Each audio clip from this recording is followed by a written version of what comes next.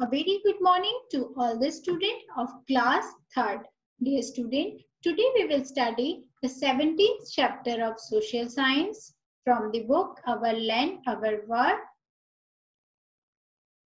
Dear student, very first you should know what are the learning objectives of the chapter. So, dear student, in this chapter you will learn about life of the early man.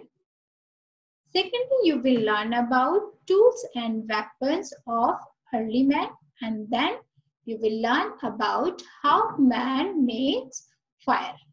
कैसे fire को आदमी ने बनाया.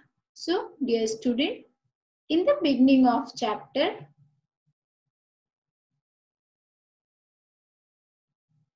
we will study how the early men life.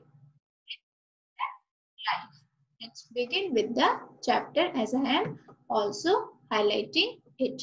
Dear student, early man was the man who lived on the earth thousands years ago. He lived in the forest just like animal. कैसे रहते थे वो एक जानवर की तरह रहते थे He used to roam about in groups in search of food. कैसे रहते थे वो खाने की तलाश में इधर उधर घूमते रहते थे।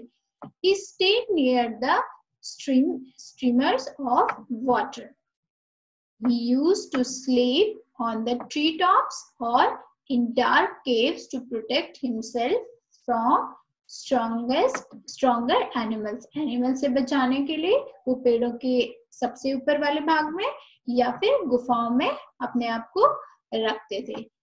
he did not have any weapon to kill these animals and to protect himself from them.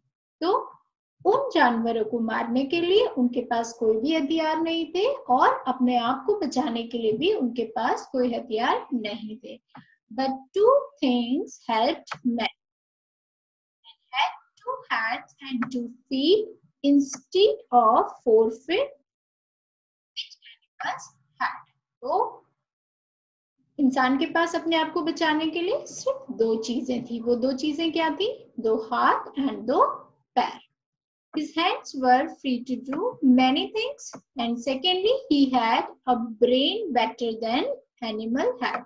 उसके पास और क्या था दिमाग था जो एनिमल से काफ़ी ज़्यादा डेवलप था He could plan his activities with skills. वो अपनी सारी एक्टिविटीज़ को किसके अकॉर्डिंग प्लान करता था? अपने स्किल से प्लान करता था।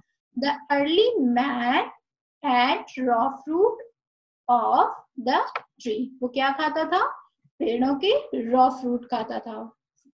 लाइक मैंगो ग्रेप्स ये सारी चीज़ें वो खाता था। Grains of the grass plants and even roots of the plants is are also eaten by a man.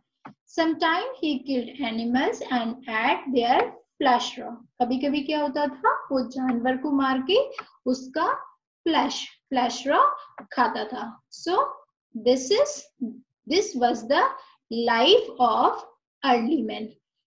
Let's discuss tools and weapons of early men. As you can see in my screen, this is the pictorial part of early man uses weapons stick to pluck fruits. And this is the pictorial part of early man use spears to kill large animal.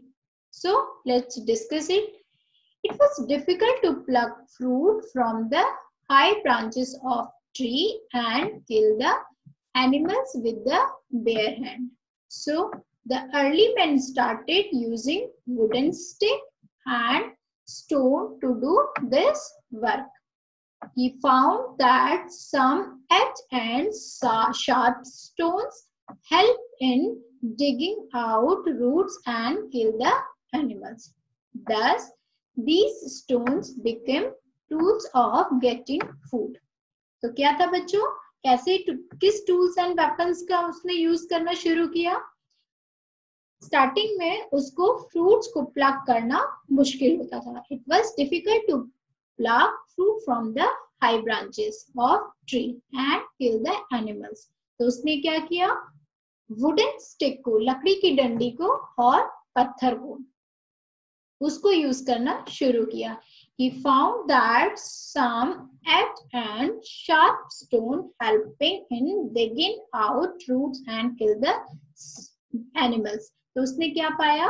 Sharp stone जिससे क्या होता है animals को मारना और fruit तोड़ना काफ़ी आसान था। Thus these stone becomes tools tools for getting food तो ये जो टूल्स थे वो किसमें हेल्प करने लगे? आदमी को उसके, उसका खाना लेने के लिए, खाना इकट्ठा करने के लिए उसको हेल्प करने लगे। Gradually the early man learn to give shape to the stone by breaking and sharping sharping them धीरे धीरे ग्रेजुअली उसने क्या स्टार्ट किया?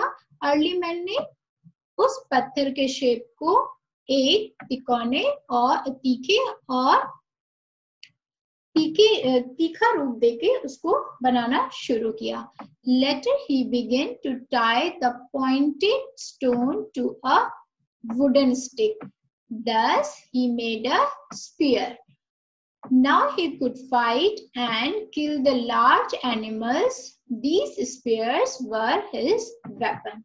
तो उसके बाद धीरे धीरे उन पत्थरों को उसने क्या किया?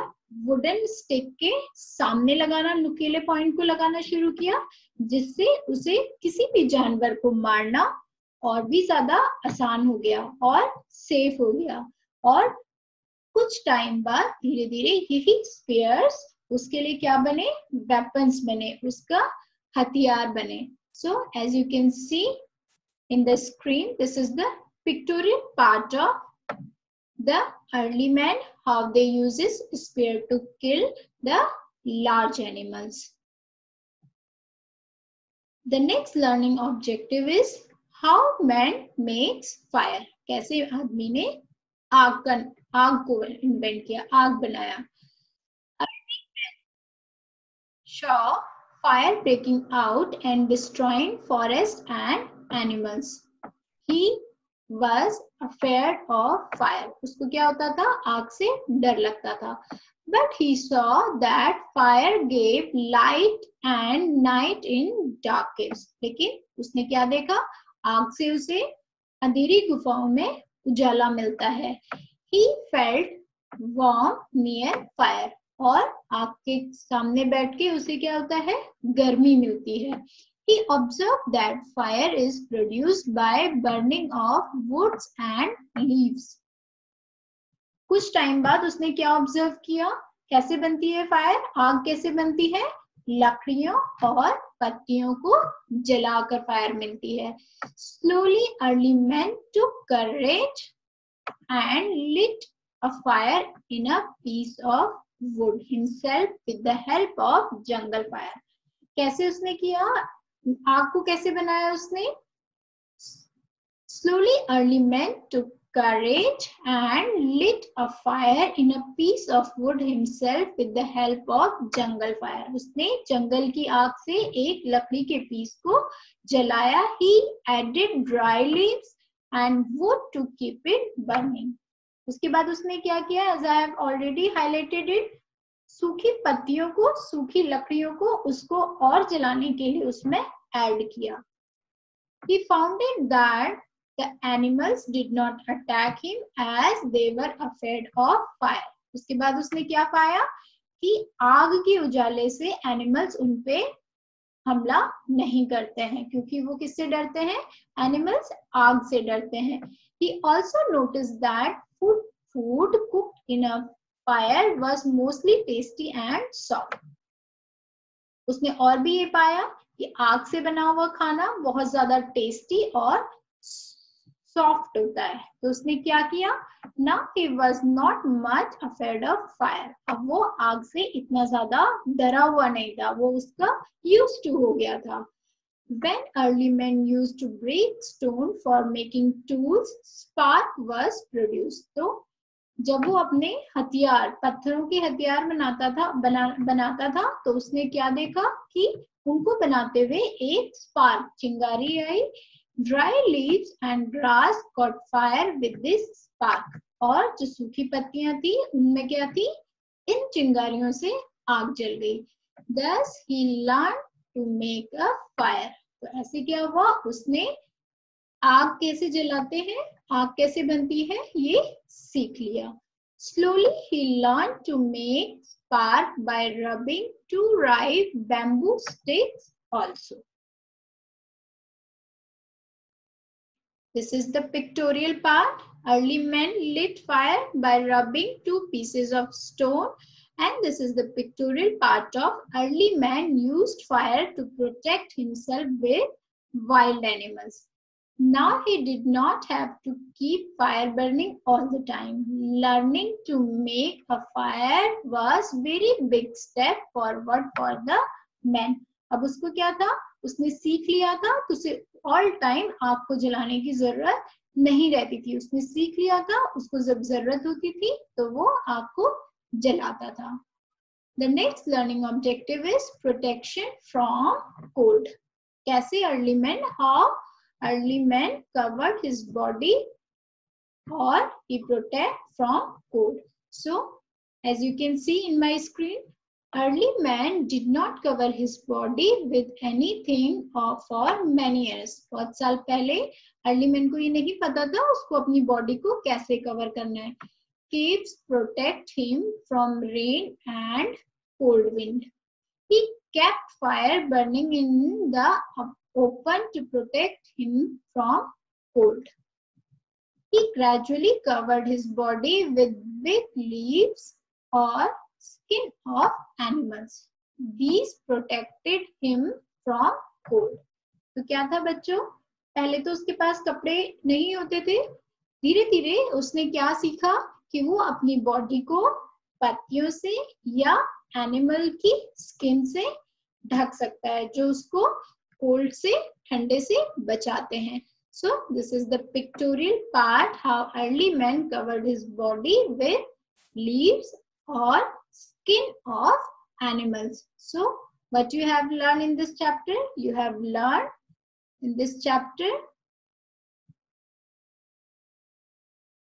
tools and weapons of the early men how to how to uh, make fire and how they protect themselves from the cold or heat. So this is all about the 17th chapter life of the early man. Dear student, we will study the 18th chapter in our next class. Thank you.